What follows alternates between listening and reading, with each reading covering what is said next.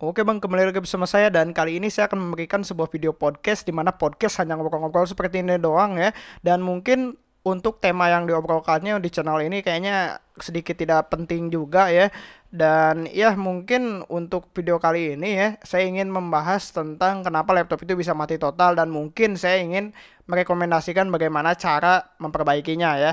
Dan sebenarnya untuk laptop yang mati total ini ada tiga pak ya. Yang dua ringan dan yang pertama adalah yang berat atau mungkin ada yang harus diganti ya. Nah yang pertama ini saya udah rilis videonya di channel saya itu ada gitu ya. Kalau misalnya kalian mau lihat kalian bisa cek deskripsi di bawah atau mungkin kalau misalnya saya lagi rajin saya bakal simpan di pojok kanan atas di video ini ya. Nah, itu videonya itu saya uh, membuat bagaimana cara mengatasinya adalah dengan tekan tombol power 30 detik dan beberapa tips-tipsnya gitu ya. Tapi yang utama dan yang paling utamanya itu adalah yang uh, menekan tombol powernya selama 30 detik gitu ya. Dan alhasil banyak yang uh, berterima kasih juga karena bisa gitu ya. Padahal saya juga nggak tahu juga gitu apakah itu bisa atau enggak. Nah, jadi awalnya tuh sebelum saya bikin video itu ada juga yang uh, bilang gitu ya ke saya ada yang nanyain gitu ya lewat uh, eh, DM YouTube ya. YouTube juga sekarang ada DM-nya gitu ya. Jadi ada chat gitu ya. Kalau misalnya kalian mau chat ke saya silahkan. Semoga aja kalau misalnya saya aktif ya bisa saya balas juga. Nah, jadi intinya di uh, chatan itu gitu ya, dia nanyain, "Bang, kok laptop saya mati gitu ya, mati total nggak mau nyala gitu ya atau mungkin indikatornya nyala tapi layarnya nggak nyala gitu."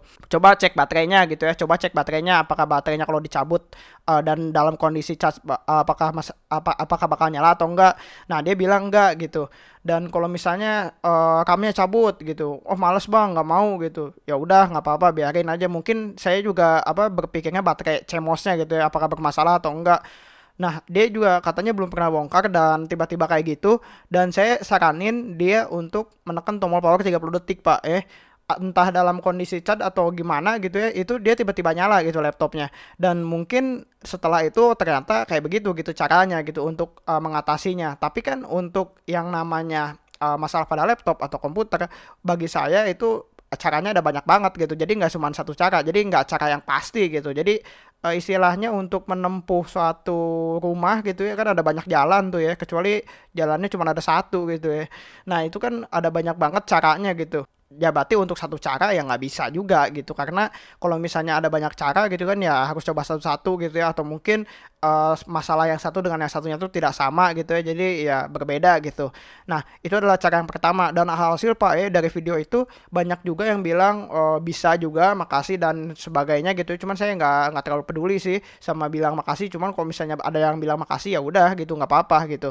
Dan kalau misalnya ada yang nggak bilang makasih juga nggak apa-apa. Mau dislike juga silahkan saya nggak terlalu peduli dan uh, videonya juga lumayan untuk itunya per dua harinya tuh seribu views gitu ya. Jadi itu ya gila banget gitu. Video yang saya yang seratus ribu views sekarang juga kalah gitu. Dan yang dua ratus ribu juga kalah gitu. Dan ya saya alhamdulillah banget dengan ada orang yang waktu itu yang ke DM saya gitu dari YouTube. Jadi saya bisa bikin video itu. Karena saya takutnya gitu pak kalau misalnya bikin video tutorial dan uh, kalau misalnya saya itu tutorialnya belum saya coba gitu ya. Dan ternyata tidak bisa. Kalau misalnya saya bikin yang kayak misalnya oh tekan tombol power 30 detik tapi saya belum pernah coba atau mungkin belum pernah ada yang bisa gitu ya.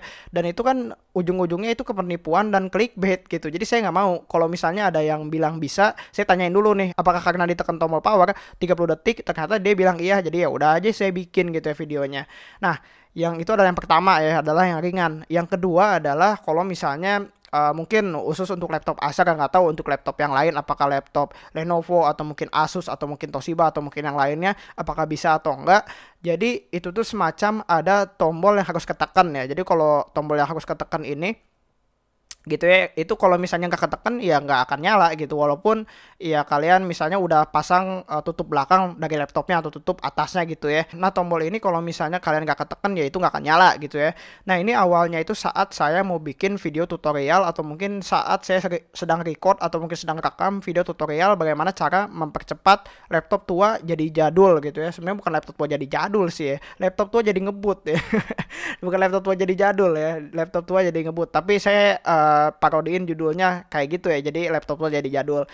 Nah pas saya mau uh, pasangin gitu ya pas saya ganti dengan SSD saya pasang cover belakangnya dan saya nyalain laptopnya kok nggak nyala gitu? Apakah ini rusak gitu ya? Apakah kabel dari uh, switchnya tidak nyambung ke motherboard atau gimana gitu ya? Uh, saya itu agak panik juga gitu. Oh masa gitu laptopnya tiba-tiba mati gitu ya? Saya nggak bisa bikin konten dong kalau laptopnya mati gitu.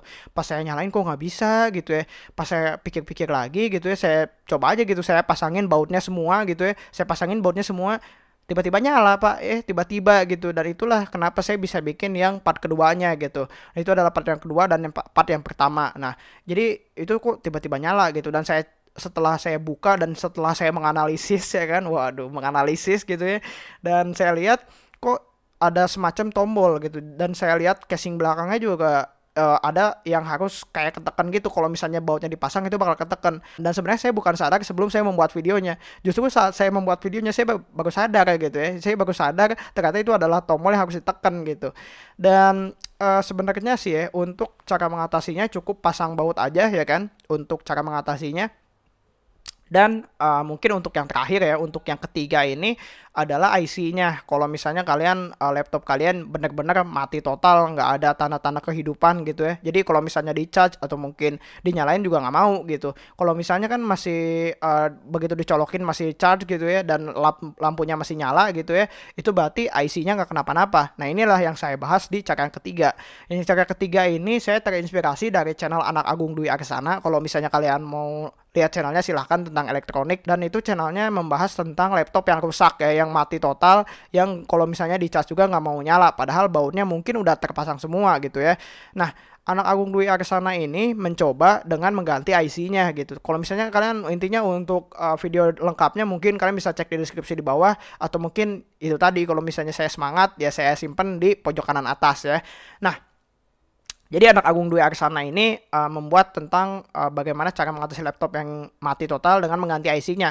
Nah IC itu kalau nggak salah IC ini cuman saya nggak tahu ya apakah sama atau ataukah beda. Itu adalah kapasitor pak ya. Jadi kapasitor ini kalau kalau benda elektronik tidak memiliki kapasitor ya itu tidak akan nyala walaupun listriknya nyala gitu ya atau mungkin ada dioda ada yang lain-lainnya. Karena kapasitor ini berfungsi untuk menyimpan listrik pak ya. Jadi kalau misalnya kapasitor yang nggak ada listriknya langsung ngalir mungkin elektroniknya bakal rusak. Jadi harus disimpan disimpan dulu di kapasitor dari kapasitor baru mengalir ke uh, sistemnya power supply dan yang lain-lainnya gitu ya nah jadi cukup segitu doang untuk video podcastnya. Untuk yang ketiga kalian bisa nonton di deskripsi di bawah. Nanti saya akan kasih linknya ke anak Agung Dwi Arsana. Dan ya jadi cukup segitu doang untuk video podcastnya. Jangan lupa untuk like, share, dan subscribe seperti biasa. Nama saya Ray Tuker dan thanks for watching. Bye-bye.